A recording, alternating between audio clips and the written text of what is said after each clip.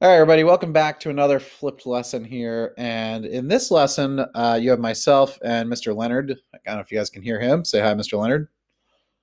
What's up, guys? Uh, so in this video, uh, we're going to talk about how organisms evolve. So this chapter already in evolution, we've really done a lot of defining what evolution is.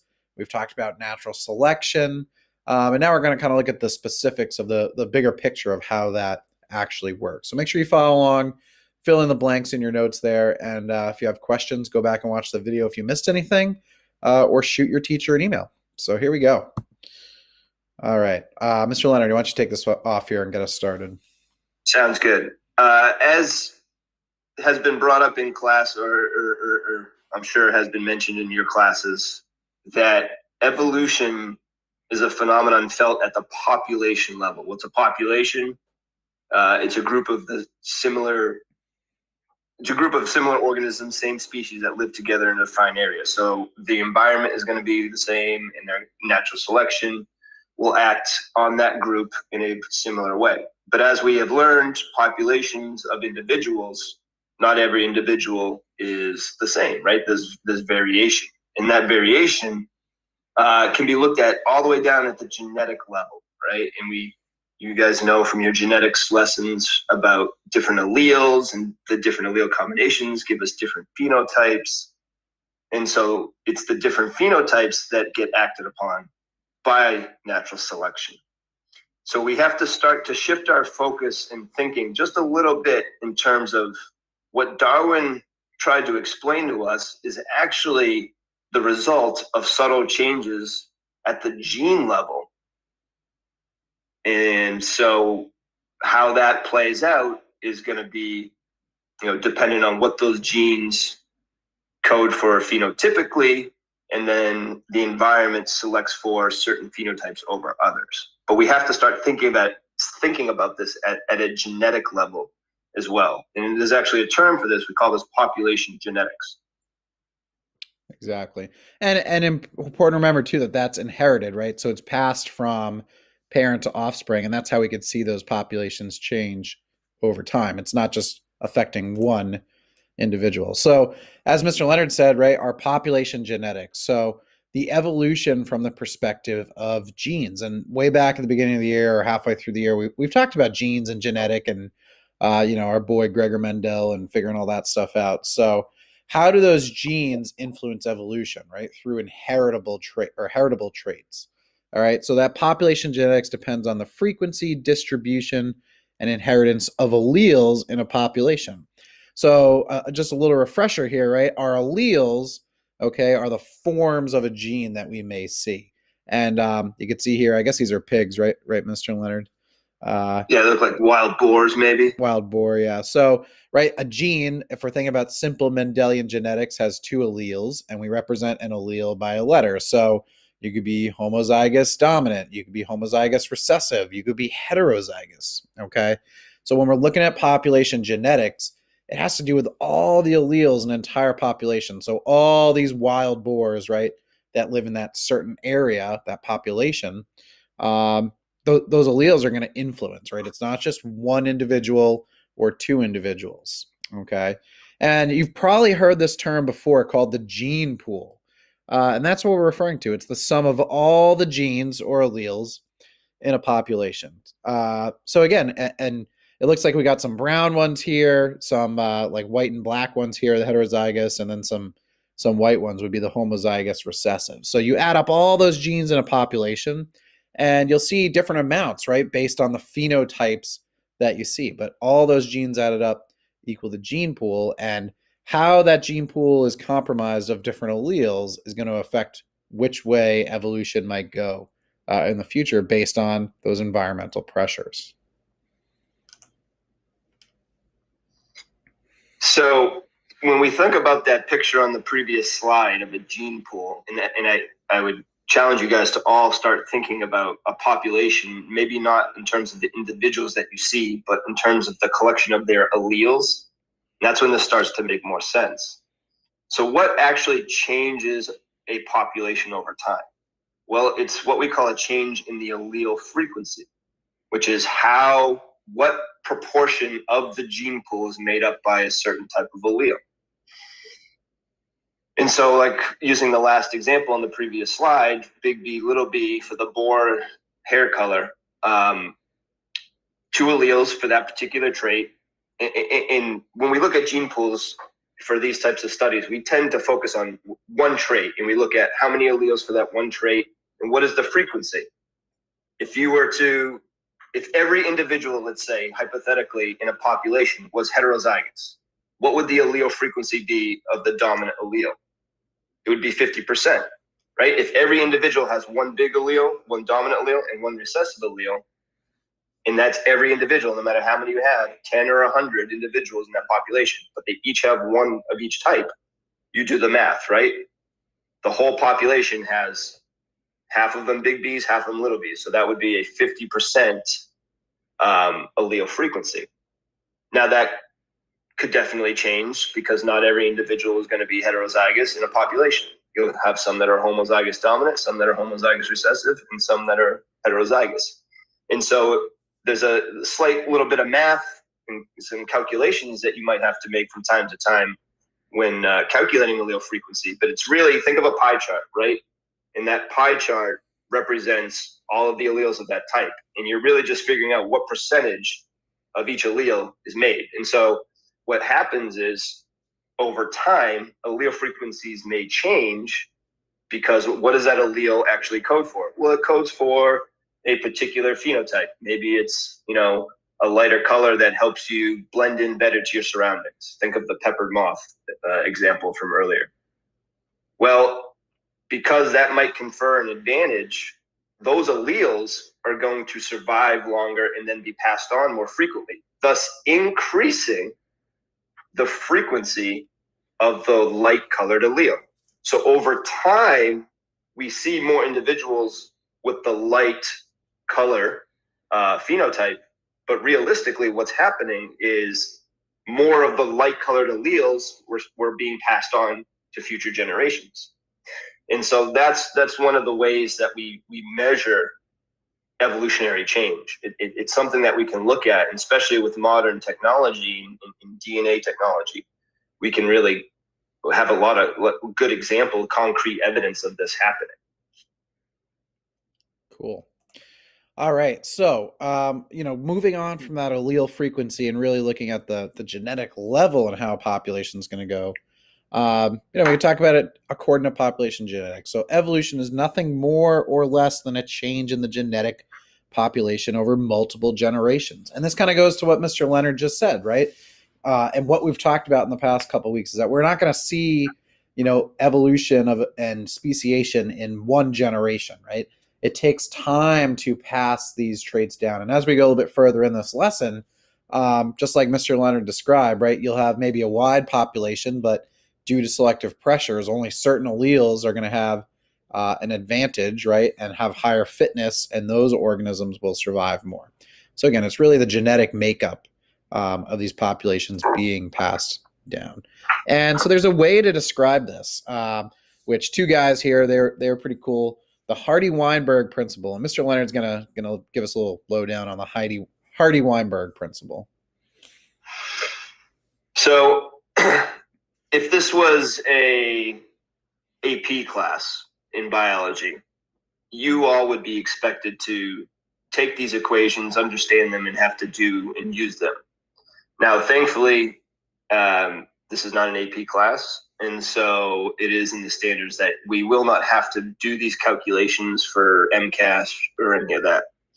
But I still want to just introduce and show you what these equations are and just, just talk about what the premise of this. So we had this team of scientists um, that worked out a, a model. It's a mathematical model that illustrates what it would take for a population to remain in what we call genetic equilibrium.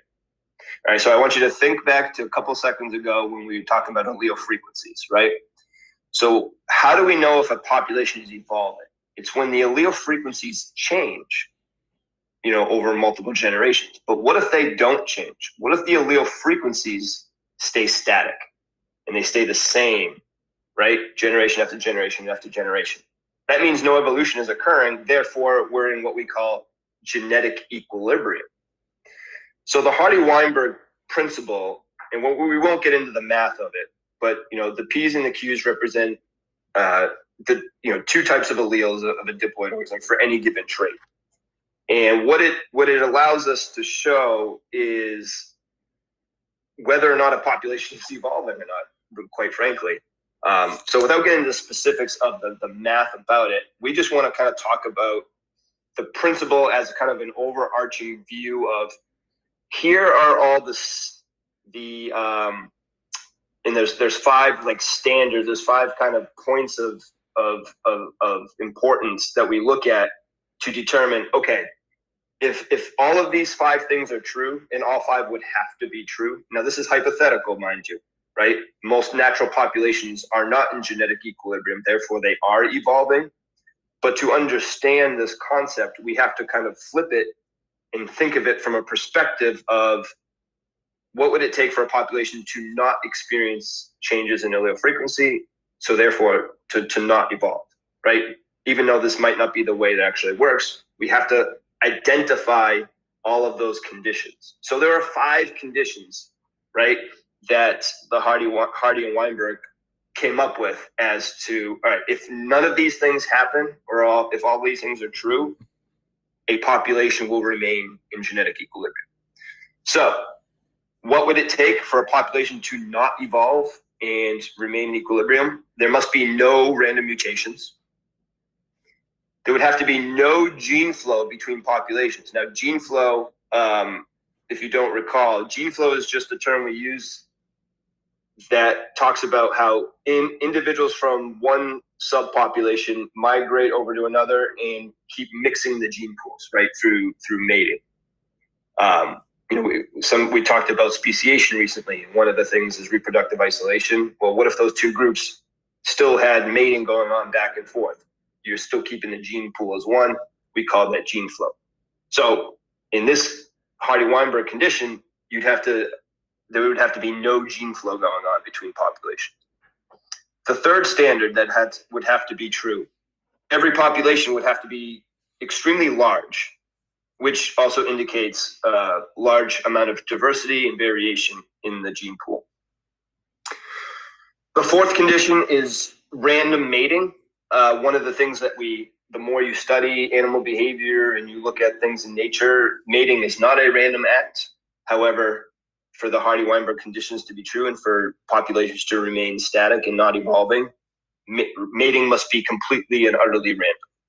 Again, all of these are hypotheticals. These don't actually happen a lot in nature, especially all five at once. And then the fifth, right, there can be no natural selection happening, right? There can't be any sort of differentiation or selecting for one trait over another. Because let's face it, that that's one of the prime mechanisms that does change allele frequency over time. So if all five of these conditions are said to be met, which again is not really something we, we, we witness in a natural population, but if if we were to assume those all five to be true, says under these conditions, allele frequencies will remain constant and evolution will not occur.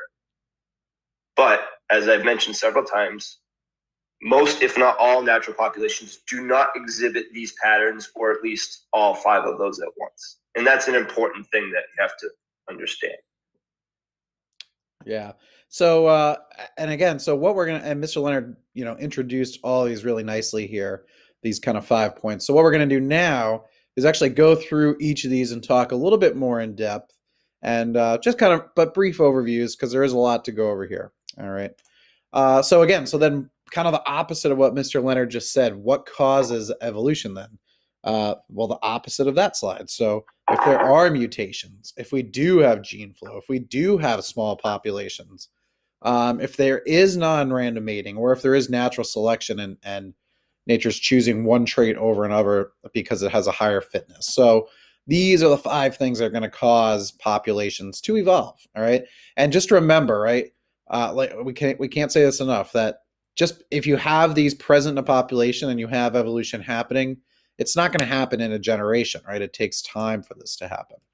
So uh, as we go through these, all right, we're going to go, some we might go a little faster than others. So if you have anything missing in your notes there, feel free to pause the video and jot some stuff down um, if you're writing just a little bit slower than how we're going over it. But so our first one then is mutations. All right. And they're the ultimate source of genetic variability. All right. We know we've already learned about it. We talked about it before evolution, right? Mutations when we change sequences in our DNA. And we think about, you know, the, the central dogma of biology, DNA to RNA to protein. Well, when we change that DNA, we're changing the RNA, which changes the protein. And, and we've said some mutations are good, some mutations are bad. Okay. Uh, they're very rare when they happen. But because some are good, some are bad, they're not, I, I like this point down here, they're not goal directed. Okay. They provide potential for change. So it's kind of it's kind of sheer luck, right? If something will work out beneficial to an organism and give it an adaptation, or if it doesn't. All right. But it starts with the mutation here and the change in the DNA and how we get traits and pass them down. You want to talk about gene flow, Mr. Leonard? You got it. So as I as I mentioned earlier, right, guys, gene flow. It's described as the act of keeping two separate gene pools as one essentially because there's migration between two populations which means typically there will be some sort of interbreeding assuming they're still of the same species and so as long as you have interbreeding between these two subgroups you're you're you're keeping the gene pool as one. So as such, you're not getting that reproductive isolation that speciation would be dependent on.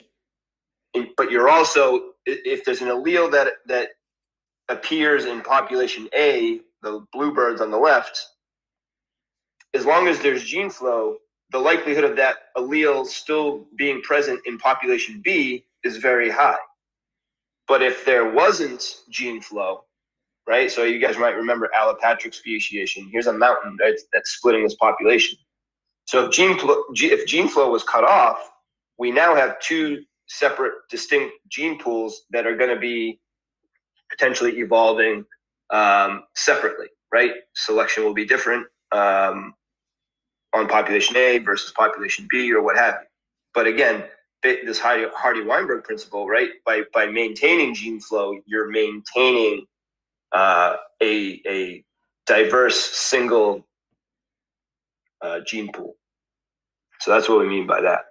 Nice. Did I leave anything out, Mr. Toto? No, I think that's a good one. Nice, nice and brief. So, our next point, right, is is these. Uh, you know, we said large populations are going to maintain that uh, equilibrium. So small populations are going to be more subject to random changes in those allele frequency. And I kind of think of it as like the law of averages, right? If you were to average everybody out, you're going to kind of be somewhere in the middle of like a spectrum. But if you have a really small group of people, um, or not just people, but any organism, right? Uh, they might be really different, um, and you can have some some extremes to one side or the other of a larger population. So they're a lot more vulnerable to this. Um, and there's events, you know, that you have the chance that uh, certain events could reduce or eliminate certain alleles out of a population. And we kind of call this, right, the genetic drift. And, and two types we'll look at here are population bottleneck and the founder effect. Um, and, and this is a great example here, right, of genetic drift, where uh, variability, right, can get reduced in a population just because we have a small population. So we have these flowers here, and you have some that are red, some that are white let's say only five of them have offspring that can grow up and, and reproduce. Again, we have a small population here. And if only two of these guys were to survive because of, again, usually some kind of uh, extreme environmental circumstance, maybe a really bad drought, right? If we're talking about flowers. And you see both the homozygous dominant uh, plant, two of those were to survive. Well, now we have a population of entirely homozygous dominant, right? Red red flowers here. So having a small population just by chance if it works out right can really limit those alleles that get passed on in several generations and really change that population. And so uh, go ahead before, before you move on i just want to also point out if you guys look at the bottom of each figure you'll see the allele frequencies for the dominant allele which is what p represents and the recessive allele which is what uh, q represents and so when we talked about allele frequency earlier, you're seeing both the the mathematical way of detecting evolution happening, right? So 70% of the population was made up of the dominant red allele in generation one, whereas only 30% was. After one generation, it shifted to a 50 50 percentage, right? If you add up all the alleles, you'll have the same number of big red alleles as you would little little white alleles. And then by as little as the third generation, we've eliminated entirely the recessive allele. And we can see that mathematically at the bottom there. So I just want to re-emphasize the allele frequency as as a way of measuring and modeling evolution in action. And that's a cool thing, right? Is that it's not just you know us talking about it in class. We can actually do math and uh, measure it and, and see it, which is cool. Um, all right, so yeah, and, and let's talk about these two specific cases, and they're and they're kind of related. But we have what's called a population bottleneck is the first one, and we'll see pictures of these in the next two slides. And then we have the founder effect. So when we think about a bottleneck, okay, uh, maybe if you've ever seen a, a Coke bottle or any type of bottle with a liquid, right? It goes from really wide to really narrow at the neck there. Um, and, and what can happen, right, is that if we were to think of that as a population, if only a few of that big population can survive, right, and you have a small size, um, we can really change that allele frequency. And again, this usually happens from some kind of catastrophic event, right? Like an asteroid hits the Earth, or there's a severe, severe drought for years and years and years um, change of landscape, over hunting. It really reduces that genetic variability.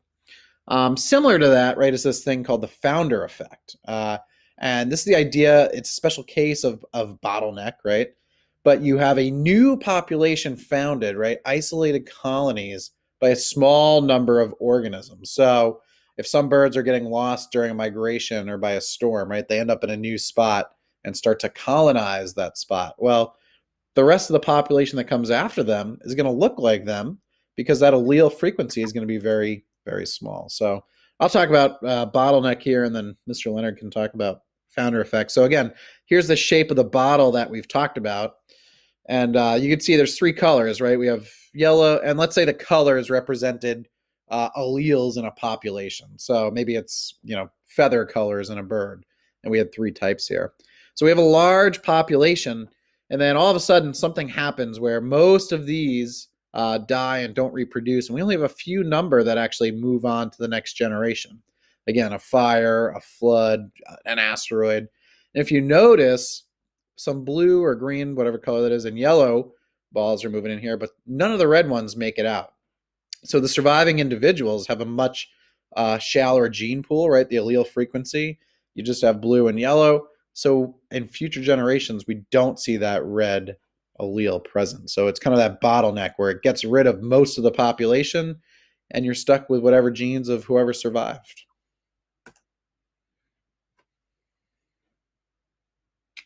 So in the founder effect, uh, it, it, it's it's a it's another case of that same phenomenon where only a relative few members of a larger, more diverse, genetically diverse population start a new population somewhere else, right? They, they sort of quote unquote found this new population, right? The, the, the founding fathers, if you will, of this new population. So this is just a very simple model showing a bunch of uh, ladybugs, and you see a little bit of variety in color. Uh, in this case, only two colors. But what if a small number of only the red ones got blown off to an island and they colonized that island and they weren't able to get back off, right? So they start a new population there, but none of the yellow alleles exist now in that gene pool. So the real big takeaway here is whether you're talking about founder effect, whether you're talking about population bottleneck, or just genetic drift as a whole, right? These are both special cases of genetic drift. The consequence like the, the the population in terms of number of individuals might explode and get really high. It might even reach the, the, the sheer numbers of the original population. But what's key here is the amount of genetic variation is decreasing in every scenario because you're not getting all of the representative alleles from the original population surviving or making it to the new location so that gene pool just lacks that allele or those alleles. And you can't as we know, we can't just make evolution is not goal oriented. We can't make new alleles. It has to be a random mutation, and it just happens to have to be the lucky right adaptation. So you can't just count on that. So in almost every case, of the founder effect, bottleneck effect, or genetic drift, we're reducing genetic variation. Yeah. And I think kind of just to tie this whole conversation we've had about genetic drift up, um, right, is that one thing is for certain that uh, it's another example beyond just natural selection of, of how those alleles, right, the genetics, can change over time via a different mechanism. And we we kind of like this analogy if you've ever seen like gears in an engine or a clock, right? All these little gears spin together to make this big wheel turn, all right? So think about the big wheel of evolution and we see species changing over long generations of time.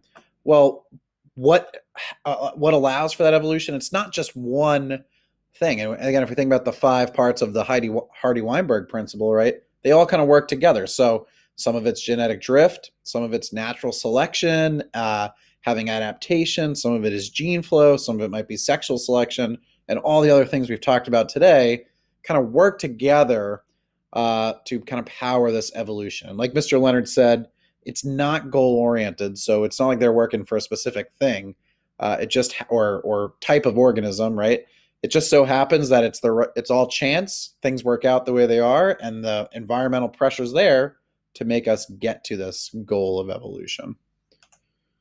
And the last thing I would just add to that um, is that these are not mutually exclusive. You can have multiple mechanisms occurring simultaneously. So when we talk about genetic drift, like the founder effect, where some of those beetles made their way to an island. But what's happening now is natural selection is acting upon those individuals on that new island. Um, and if that population diverges in the future, well, maybe you'll have two subpopulations and there'll be gene flow between them, right? So just understand that it's not one or the other. It's usually a combination of all these factors happening at once.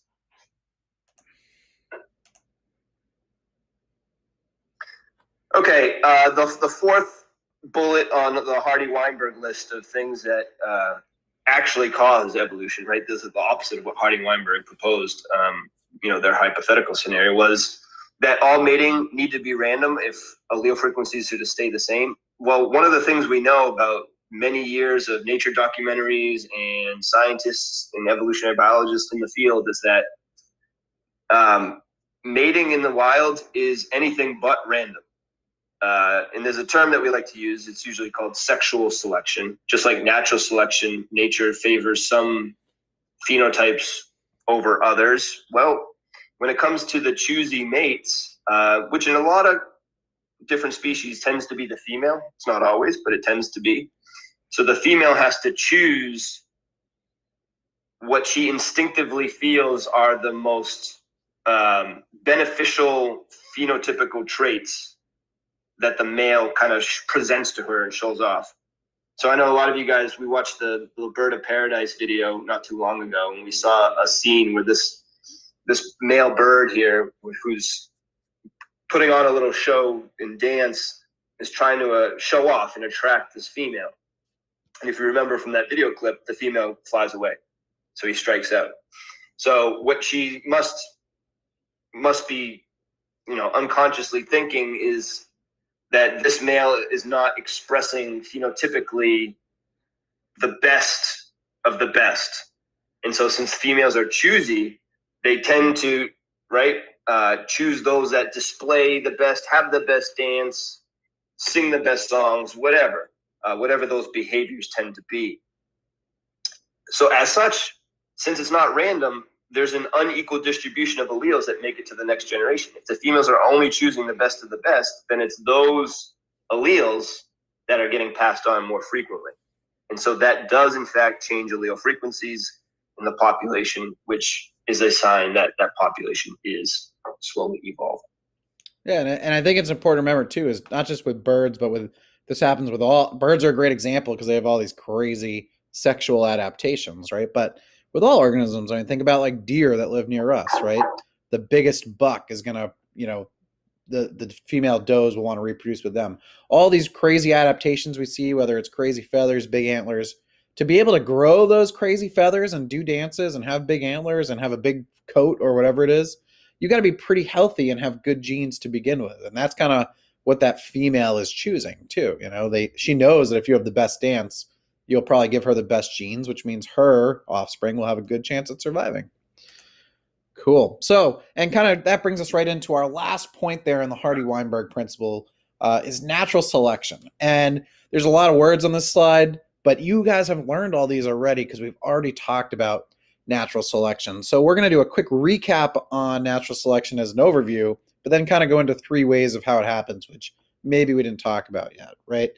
But uh, natural selection does not cause the genetic changes in the individuals. Okay, that's the mutation that's going to cause genetic change. However, natural selection will affect how those genes are passed on, if they're advantageous or if they're not. And while it acts on the individual, right, an individual bird will reproduce or won't, it will survive or it will die. Uh, it affects the whole, or evolution occurs at the whole population, even though it's affecting an individual. And uh, you've probably heard that word before fitness, right? reproductive success. How well can you survive and how well can you reproduce um, is going to give you a higher fitness. And again, we've said this many times, but those evolutionary changes through natural selection, they're not good or progressive. Uh, it just so happens to fit whatever that environment is selecting for right then. What's who's got the best adaptation? Uh, and we see environments change, and we've talked about, and we will actually talk about more uh, extinction, right? If you can't keep up with those changes. And again, how does it work here? Uh, you know, we, have talked about the survival of the reef of the fittest. It's all about reproduction. For organisms to live on, they need to pass on those genes to the offspring. Um, and in natural selection is an issue of differential reproduction. So those with certain alleles will leave more offspring than others with different alleles. This whole idea of, of surviving, reproducing, passing on your genes. All right. Phenotypes and genotypes. If you if natural selection acts on a phenotype, that will reflect the underlying genotype because that's what determines the phenotype. So uh, that was a real quick review of natural selection, but we've talked about it already. But now we kind of get into the last bit of this lesson, which is how natural selection influences the populations. And there's three ways here, which we're we're going to talk about. The first is directional selection, uh, then stabilizing selection, and disruptive selection. So, Mr. Leonard, why don't you talk about directional selection? Sure. So, in in all three of these examples, right, you're going to see a little graph, and it's you guys should recognize the bell curve graph. It's a normal distribution, right? So for any phenotype, right, we're looking at phenotypes that have a range of phenotypes, like height in in humans, right? If we took our classes individually and lined us all up and measured the height of everyone, we would fit something like this. And the larger the sample size, the more it kind of has this bell-shaped curve.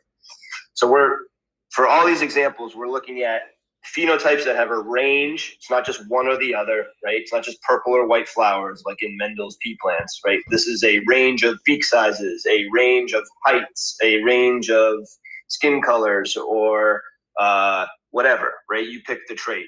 Um, and, and so that's what we're looking at here to start. So, what is directional selection? So the dotted line represents the previous population, like a snapshot of that population. So the peak of the graph represents the the the majority of the population. If the y-axis is number of individuals in the population, and the x-axis is the range of phenotypes from small to large, or or whatever, from from you know narrow to wide, if it's a beak or or what have you, uh, that would be on the x-axis. So the range of phenotypes is on the x. So that means the largest percent of your population is whatever that mean or average phenotype is, right? It's not too small, it's not too big, it's that sweet spot right in the middle. And that that's the same, you know, we can just look at human populations as an example of a lot of these, right? You know, the, the average height is the average height because the majority of the population kind of hovers around that similar height. And there are less individuals that are extremely tall or that are extremely short. So but to explain this type of selection, where the overall average shifts towards one extreme, Okay, so the way we would interpret this is if this was, it's let's say that this was beak size. It goes from from a small beak to a large beak. If we were looking at that example, like in Darwin's finches, if this was how evolution was happening on one of those islands in the Galapagos, maybe the, the, the food source started to dwindle, and really the only thing that was available in a large amount uh, to provide them with the nutrients that they need was something that you needed a large beak to, to, to open up. Think of like hard, tough seeds or something like that. So what would happen is that if you in the old population, only the few members in the that had the really large beaks would have that capability to crack open those hard seeds. So again, going with our idea of natural selection, those are that's a favorable characteristic. They're eating more frequently. That allows them to survive long enough to reproduce more frequently, passing on the big beak genes more frequently to the next generation.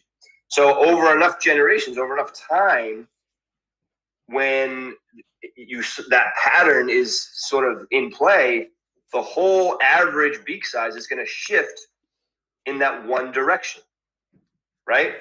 That's it's it's directional selection. It's it's moving towards one extreme. Now, the opposite. I just want to say that the opposite could have been just as true.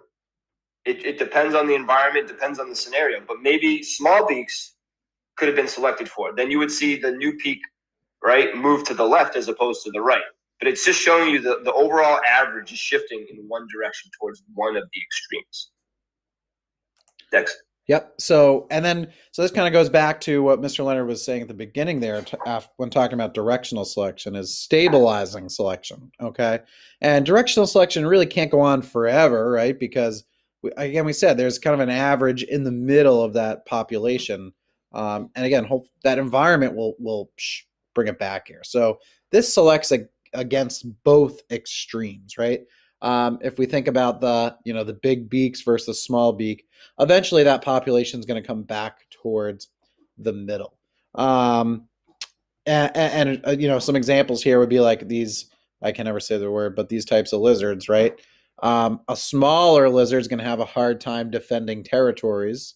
Okay, but the bigger ones are going to be much easier to spot as prey. So it's not necessarily advantageous to be on either side of the bell curve, but somewhere in the middle is going to be advantageous. And again, if we see those uh, or the environment start to change one way or another, that could shift it back to that directional selection. Uh, and our term for this is is balanced polymorphism. Right, two or more alleles maintained because each is favored by separate environmental forces. So an example of that, right, in uh, humans would be uh, with our red blood cells, okay? And we can look at our three genotypes here. So we can think about it the homozygous dominant, uh, which is susceptible to malaria, the homozygous recessive, right? It's resistant to malaria, disease carried by mosquitoes, um, but it's fatal with sickle cell disease. And sickle cell, if you haven't heard about it, it's basically when your red blood cells start to turn into these funky shapes and really don't work well. Um, so, however, the kind of the medium, the middle, the heterozygous, they're resistant to malaria, but they may have sickle cell disease. So, this kind of shows that kind of the middle is the best spot to be, right? Uh, you're resistant to malaria. You may have this disease, so some of you may not make it, but overall, right, you're you're somewhere in the middle. And that's called ba- balanced polymorphism. Anything to add there, Mr. Leonard? No, I think you got pretty good. Sweet. Now, I, I, maybe I'll just add, even though one or the other is not desired, right? You don't want to get malaria, and you certainly don't want to have sickle cell disease. But the reason that this is selected for the heterozygous is it's better to have a minor affliction of both and have protection a little bit from both, as opposed to be all in one basket and then susceptible completely to the other force at play. Mm-hmm. And so I, I, this comes up every year. Students wonder why you can still have sickle cell, right, as a heterozygous, and that's a good thing. It, well, it's not necessarily a good thing. It's it's the, just the way that natural. Remember, selection is not goal oriented. It's just selecting. It's it, it tends to better be better to have protection against both. So the way that individuals have that is by being heterozygous. So yeah. I would just add that. Cool. And then the final example of uh, the direction that selection. So think of this as the opposite of the last example, uh, which was stabilizing selection, right? Where you're stabilizing the mean. You're you're you're basically the environment is stable. More individuals are sort of settling into, you know, becoming more fit to their surroundings. Well, sometimes the opposite is, is true, where now especially if there's some sort of dramatic shift in the environment where there's selection against the mean. You know, being the average is no longer beneficial. Um, so it's it's in, in, in some cases it's better to have one extreme or the other, and so you kind of get this camel hump looking uh, outcome of the graph over time if that's the case. So we're selecting against the mean and selecting for either extreme. So this might be due to the environment, uh, you know, providing only a few specific types of resources that are necessary for survival. Um, there are these black-bellied seed cracker birds, and in their population, they, they kind of have like one of two extreme varieties, like a really large or really small beak. And it turns out that there are hardly any like mid-sized beaks. It's really kind of really large beaks or really small beaks. And the question is, why is that? Well, based on the seeds that are available, they're either soft seed varieties in some of the the the, the plant life there, or there are very hard seeds. And so the really hard seeds you can only really get at if you have the strong, large beak to crush them a medium-sized beak might lose out on those competitive situations. But also on the other end, having the small, more you know, nimble beak to get the smaller, softer seeds, again, they have an advantage over the medium-sized, large-sized beaks for that end of the spectrum. So you kind of get caught in the middle, right? If you're average, you're you're being outcompeted for the large, hard, tough seeds in this direction, but I'm also being outcompeted for the small, soft seeds in that direction because they have the favorable adaptation. So over time, that old mean starts to shrink, and you get to see the, a rise in a dual rise in the extreme phenotypes, really small really large in that example. Yeah. So, guys, those are our three uh, kind of ways of selection that we talked about. And again, that, let's wrap it all up here, right? That natural selection was our fifth uh, cause of of the Hardy Weinberg principle there and how we see evolution happen. So, and again, just to wrap it up, we've pro- we've talked about this, right? But natural selection, and Mr. Leonard just actually touched on it, right? Could happen for a variety of reasons, um, and it all comes down to those again adaptations, a word you know, right? A characteristic that helps an organism survive and reproduce. And it's not only just physical factors; it could be with other organisms. In a little bit here. Uh, we'll when we get into ecology in our next couple lessons, we'll start talking about biotic and abiotic factors, right? Um, but they both affect organisms and how well they are adapted to that environment. Okay, so it might be, uh, you know, the non-living environment where it's, you know, the bottom line to have food, water, shelter. Um, but then you have those uh, biotic factors that affect natural selection, whether it's competition um, with other species or competition within a species or predators coevolution, symbio- symbiosis, again, sexual selection we talked about, altruism, right, helping others and and whatnot. So there's many other biotic and abiotic factors that can affect evolution. Mr. Leonard, anything to add to um, wrap up here? Uh, no, I think we've taken enough of their time, Mr. Toda. That sounded good to me. Yeah. So, guys, go back. If you have anything missing in your notes, go back through and uh, fill that in, and then there'll be just a little uh, kind of wrap up summarizing assessment here that you'll do separately for all this stuff. So again, a lot of a lot of terms in this video, a lot of concepts, but really the last big push here to wrap up evolution. So uh, thanks for watching. Shoot your email if you or shoot your teachers an email if you have any questions, and we'll see you in class.